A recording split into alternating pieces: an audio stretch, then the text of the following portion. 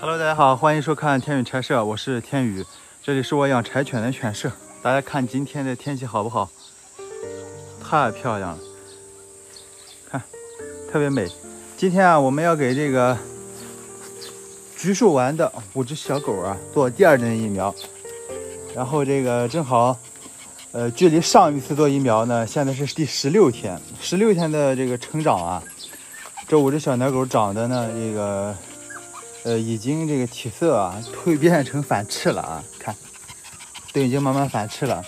这也是我前几个视频里说的，我说它在犬舍，呃，待着待着成长，然后它体色啊就会这个慢慢变成这个赤色。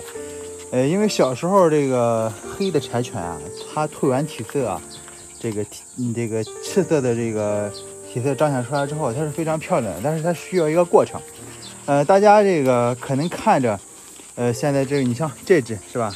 它脸上黑黑的，它背上黑黑的，很丑，觉得它是不是品相不好？其实啊，呃，不是这样。解惑朋友们的一个问题，就是说这个小狗啊，只要它的父母犬它的这个状态好看，品相不错，那么这只小狗呢，呃，在小的时候啊，它可能由于这个色素沉淀重，彰显出这个黑毛多，但是它经过一个蜕变啊，也会长成非常好看的样子。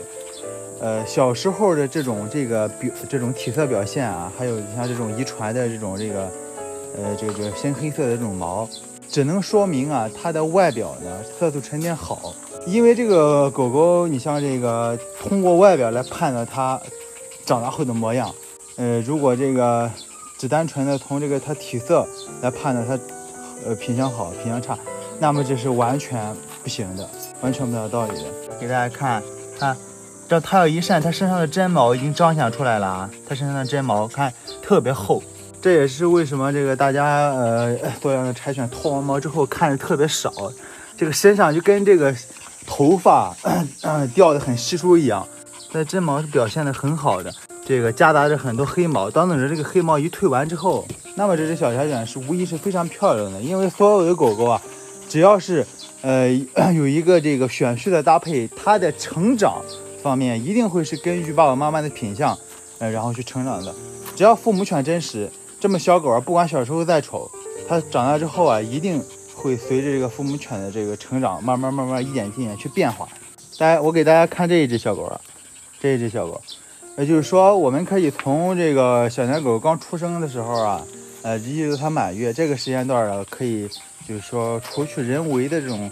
呃，抚摸它，然后让它明白这个除去狗妈妈有第二个亲近的一种一个东西来帮助它，是吧？来抚摸它，来亲近它之外啊，到了满月之后呢，其实就可以看性格了。呃，这个小柴犬，它的性格是最文静的一个。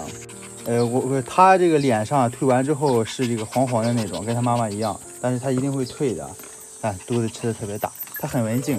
它在小的时候啊，就是说他们这五只，呃，这个同胞的这个，呃，这个姊妹啊，哈，四只小狗啊，都在吃奶的时候，它不去吃。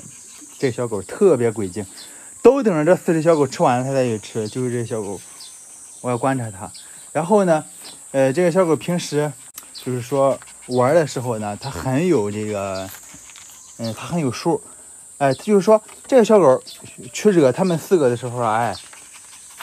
如果是他们四个反过来去惹它，它就不干了，哎，它就不干了，它就不和他们玩了。就这这这小的可能就是鬼精，嗯嗯，自信心非常好，呃，不管是放到哪里，它的尾巴就上扬的，这说明这个狗不是这个胆小，就是说它真的很聪明，这是小不掉。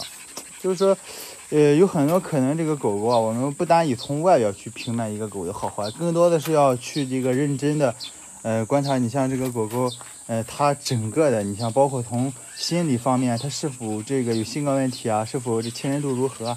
呃，是否到了陌生环境，是否很应激，表现出紧张紧张的表现一样？这个呃是需要综合判断的。养狗其实更大的一方面就是说陪伴很重要。其实呃，你像这个健康啊，是吧？陪伴啊，真的非常重要。呃，有一个好的性格好的狗，健康的狗狗，其实。呃，在新家里来说是好多的麻烦。